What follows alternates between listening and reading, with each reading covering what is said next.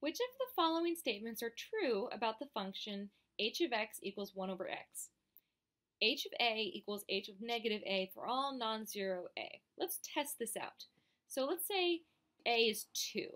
So h of 2 equals 1 over 2, 1 half.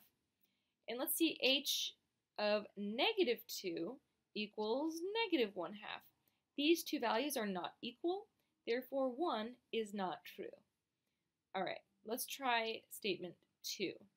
So h of a equals 1 over a implies that h of 1 over a equals a. So we were to plug 1 over a into this function, we would get 1 over 1 over a.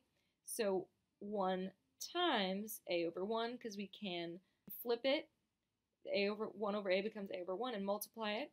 So that does become a. So this one is true. Finally, the domain of h equals the range of h. The graph of 1 over x looks a little like that.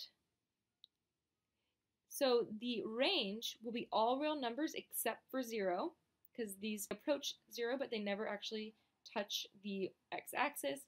And the domain is going to be the same. It's all real numbers except for 0. So the domain does equal the range, that is true. Therefore, the answer to this problem is C.